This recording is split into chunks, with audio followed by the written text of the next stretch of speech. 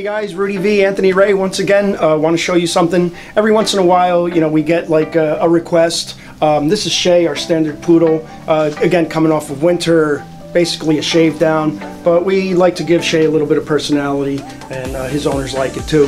So we're going to work on a little bit of a mohawk on Shea. So uh, without further ado, let's get started.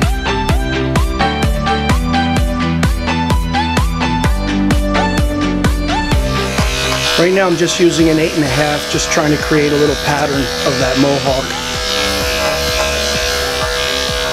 I want to be really careful right here with this ear flap.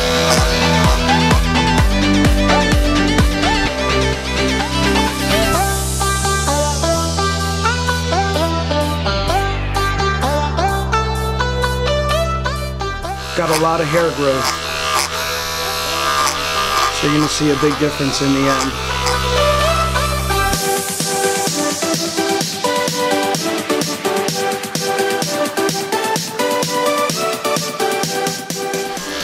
Again, that little ear flap is right there, so want to be real careful with that. Coming forward on it instead of down. And then we're just turning it out, out getting the inside. Once we once we can see it, makes it a little safer to, to work around it. So you want to explode, expose this little ear flap right there. Okay, now we're switching blades. We're doing a, a, a 10 on the face.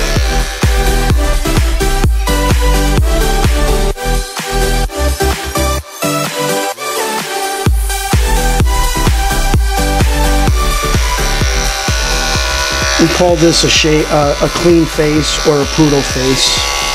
It's when you take all the hair off of the face. Good boy, Shea.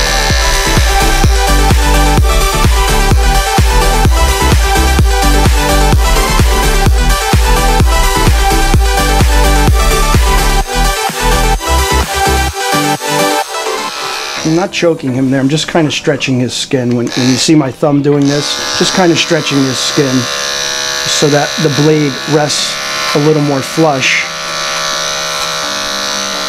See, see right there, you want to kind of pull, the, pull his lip back so you're not cutting because sometimes as the lip gathers, if you hit that with the 10 blade, you'll cut the lip. So you definitely want to be real careful with that.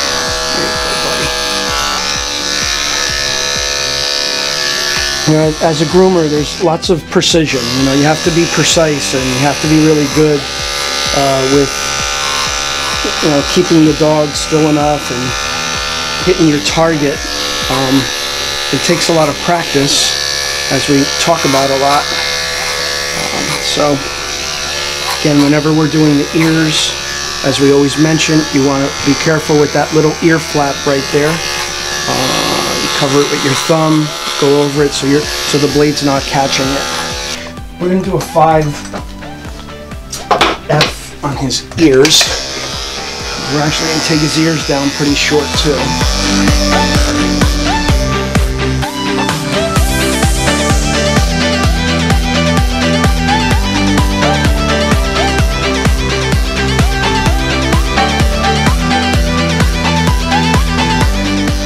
So I like to get as much hair off as possible for the prep. It just uh, saves time later and, and, it limits the dog's table time.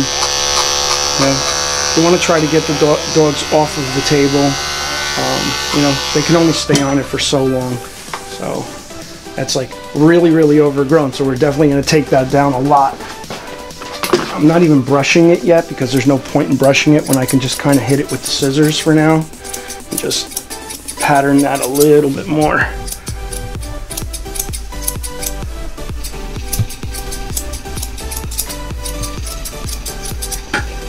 Shea, you, you see how Shea's tilting his head? It's because he's so used to me doing it. Um, you know, he he just anticipates everything I'm doing. He's such a good dog. He lets me do everything. Such a sweetheart of a dog. Very smart dog. These standards are very, very smart dogs. If you're in the market for a dog and you want like a real house, uh, easy to housebreak dog, and easy to train dog, it's a standard poodle is a really good uh, option for you. just uh, very high maintenance as far as grooming is concerned, so keep that in mind too. If you don't have time to brush and have them groomed, um, might not be the choice for you.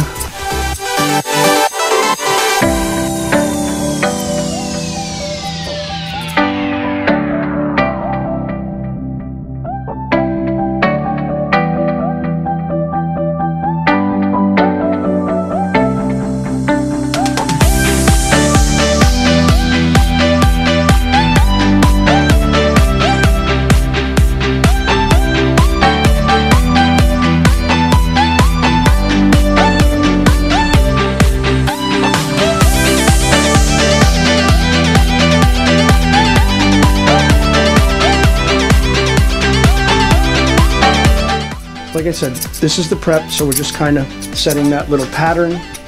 And uh, after his bath, we're going to show you how it looks finished.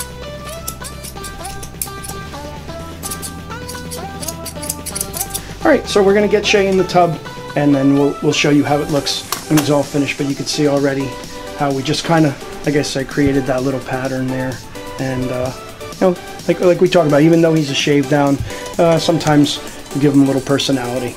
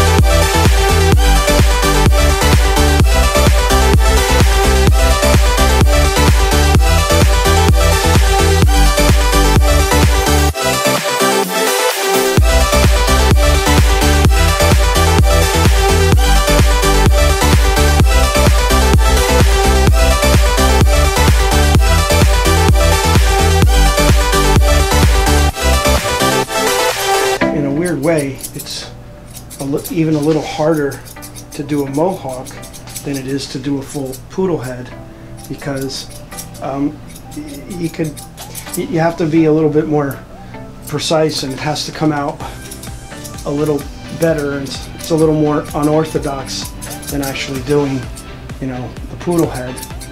Uh, they didn't want too too much of a mohawk so we're really going to take this down a lot more just trying to do it little by little so I don't want to do it all up front because then if we take it too short right off the bat we can't put the hair back on. So it's better just to kind of take it down. Little by little. I'm using curved I really like the curved shanks. Um, they just kind of give a more round effect when you when you need it. For example like right in here you know you kind of get that little angle where with the straight shears you wouldn't be able to grab that angle. Come. Look at this. You're so handsome, buddy. Kind of have to really make this line very evident here. So kind of keep going over the same thing little by little. Good boy, buddy.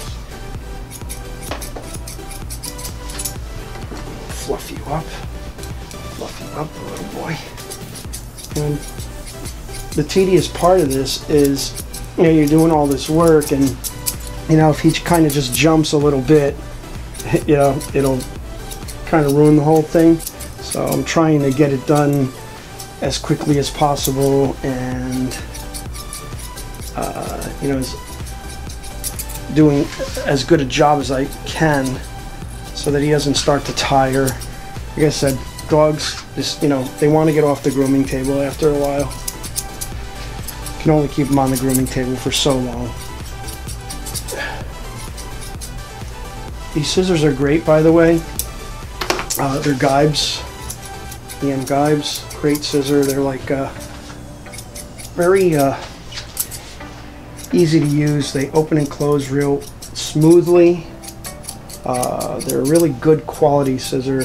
They're somewhat expensive, um, You know, these these are, I think, eight and a half curves. These go for probably I don't know, like maybe, you know, one 170, 160. I think is probably the best price you can get. Sometimes they do a special on it, get them a little cheaper. You buy two or something like that, depending on where you get them. But they're really good scissors, and you can sharpen them a lot. And, you get a lot of use out of them. I've been I've had these for probably five years, and when I sharpen them, they really it, it's like a new new pair of shears. So see it coming along there. Well, just about done. We're gonna call it in a second, but. This is where it comes down to like the wire, you know, you want to try to maintain what you're doing, but at the same time, say, hey, you know, it's got to be done, you know.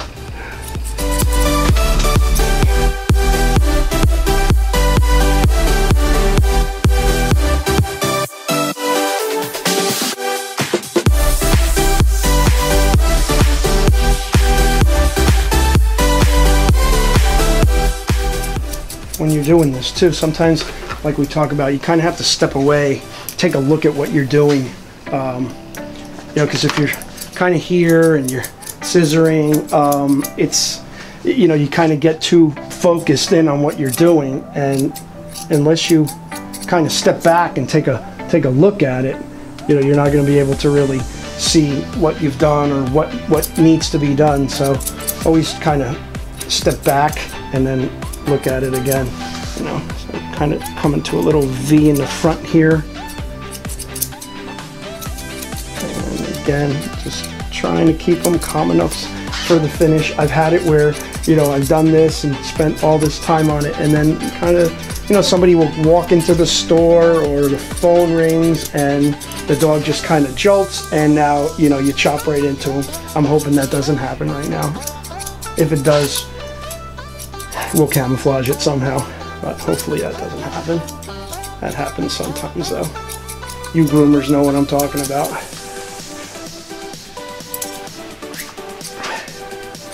People will say to me sometimes, hey, you never answer your phone. Well, this is why, I, you know, I, I can't always get to my phone. So if you call me midday and I'm doing this, uh, leave a message. I'll call you back for sure. How we looking there? What do you think, Shane? Think you're done, buddy? Look at that. I think that looks awesome.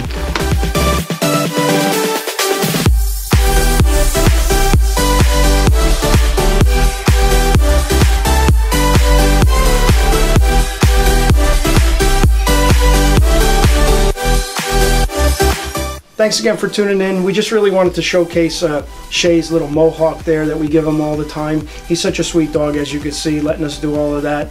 Uh, so we really appreciate you uh, tuning in, and uh, don't forget to like, share, and subscribe, and uh, check out our radio show. It's called Groomer Humor. We're going to leave that link down below. Give it up for Shea one more time. Go boy, Shea. You good boy?